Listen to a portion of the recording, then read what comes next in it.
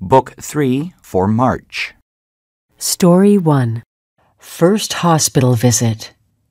Baby Ethan is sick. He has a fever. His mom takes him to the children's hospital for the first time. There are many children there. All are waiting to see a doctor. Some children are two or three years old. Some are even younger. One baby is just a few weeks old. Her dad is carrying her in a basket. She is crying. But Ethan is not crying. He is playing with the toys in the waiting room. Can I check your ear?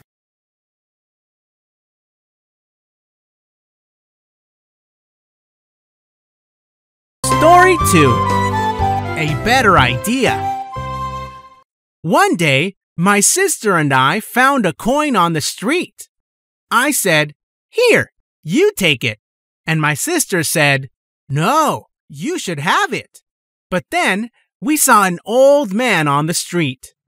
Let's help someone, said my sister. We gave the coin to the old man. My sister and I looked at each other and smiled. We felt very, very good. I have an idea.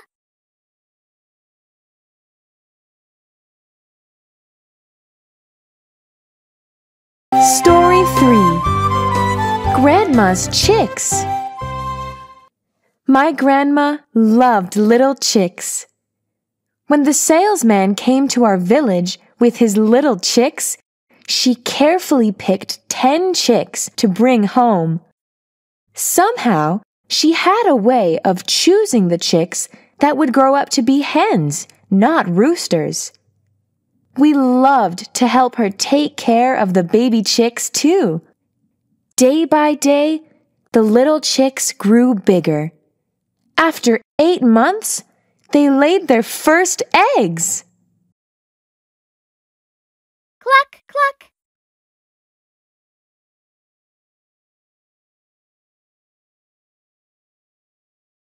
Story 4 World of Light.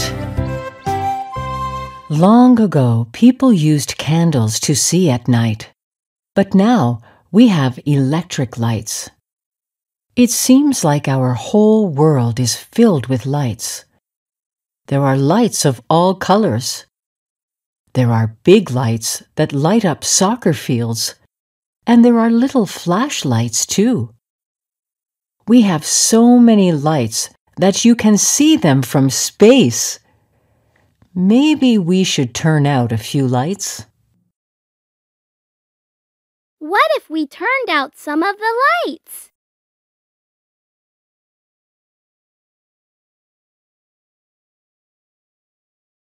Story 5 Our Moon. Let's go to the moon. What do we need to take? We need to take air to breathe. There is no air on the moon. We need to take water to drink. There is no water on the moon. We need special clothes, too. Why? It is cold on the moon. When we get there, we will look back to Earth and say, Wow, what a beautiful place we live in. That's our beautiful home.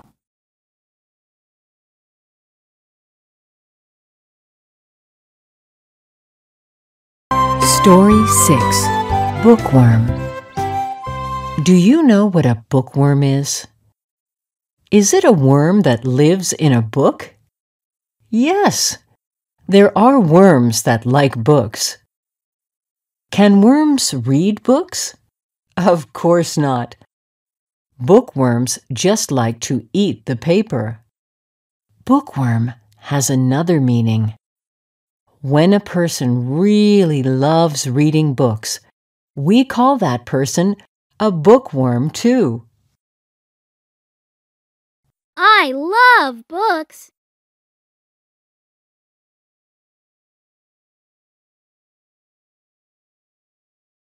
Story 7 Want to fly? Birds can fly. Bees can fly. Many kinds of insects can fly too. But people can't fly. Long ago, people tried many ways to fly. But people are not birds. People are not insects. What did they do? They made a big balloon. They put a basket on the balloon. They filled the balloon with hot air and up they went. Look! Look way up in the sky. What's that? It is people flying in a hot air balloon. What a beautiful view!